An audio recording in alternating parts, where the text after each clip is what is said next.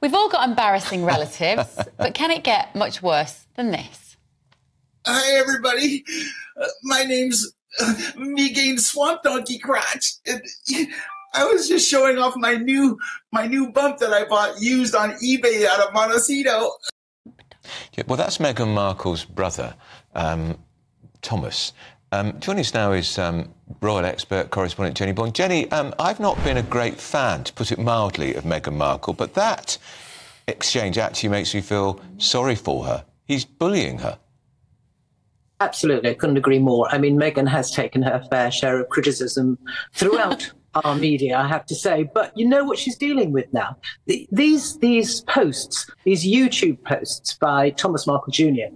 are the misogynistic, hate-filled diatribes, nasty, nasty monologues. He called he calls her um, an old hag during what he purports to be a um, a birthday message. Um, it's vile, vile stuff. And I don't understand, quite frankly, why it's not taken off the internet. It simply shouldn't be allowed.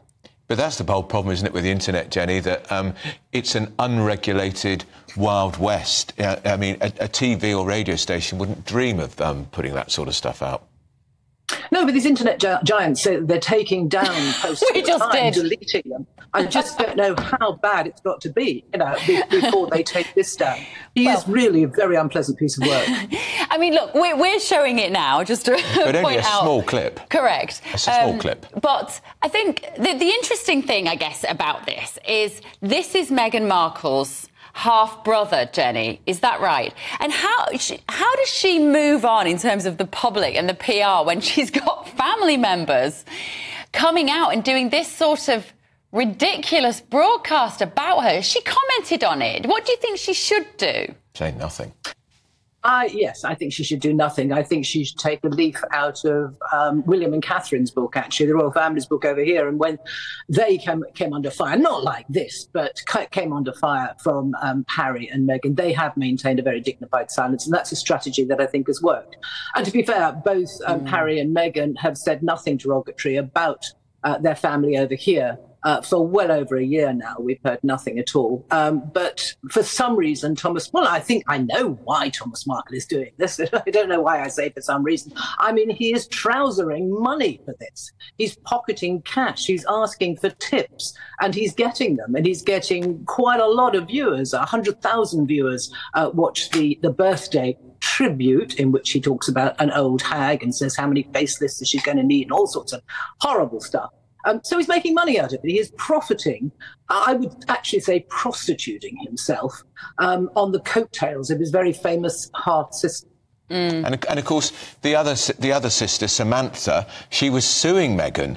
Um, I can't even remember anymore, Jennie, what it was over, but that's been thrown out. So this really is the ultimate dysfunctional family. Isn't it? I mean, you know, as your strapline says, we, we do have embarrassing siblings and embarrassing members of our family, but somehow it seems to me the royal family and the extended royal family have rather more than their fair share. Well, quite. I mean, you know, he might say, I'm just, I'm trying to fi- see how many followers he has. Do we have any idea how popular he is on YouTube? I think it's, I don't have this precise figure, but I did He's look got- up how many people He's watching got this YouTube. 36,000 followers, which isn't a lot, but That's I not a lot. suspect he's hoping for a lot more after this. But if I had been following him, Jennie, I'd unfollow him after this outburst because it's, it's juvenile. But it's not just juvenile, it's spiteful. Oh, it's as I say, it's misogynistic, it's hateful, it's deeply unpleasant. I mean, it's vile, it's grotesque, um, and I don't know why anyone would. wa- It's not even funny, so I don't know why anyone would get pleasure out of watching it.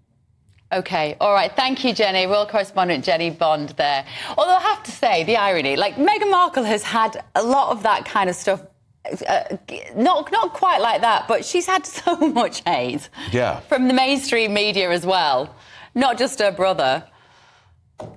Well, she's because she's because she's what she's done. She's rained endless abuse on the royal family in this country. Yeah. uh, and uh, she she's called she, caused problems for the Queen. She's slagged off Catherine, who's very popular, uh, William. And if you marry into the royal family, why she she pretty much knew what she was marrying into. She's not stupid.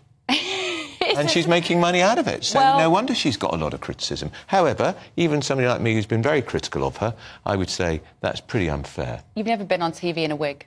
I've never been on TV in a wig, and he looked ludicrous uh, the thing is, to what it as Jennie think. Bond said, it wasn't funny. If it was sophisticated and witty, you'd think, Yeah. well, it's satire. But that Yeah. not satire. That's just abuse. Awful.